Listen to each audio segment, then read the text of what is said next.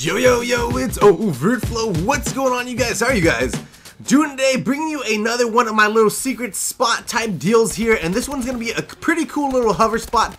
Definitely, definitely very, very helpful for you guys. It's here on Defender, and I don't see a lot of people using this. This is awesome when the game first starts out. This is what I run to every single time. So I use the Exo Hover ability. I think it's one of the best Exo abilities in the game, and you can literally jump over here, hover, and you can see their spawn point over here. People are always on this side of the map. It's so easy to pick up two, three, four kills while you're hovering. Very, very simple, very cool spot. Wanted to bring it to you guys. Let me know what you guys think about it, and uh, let me know what map you want to see next. Love you guys a ton. Subscribe if you're new, and I am over and out.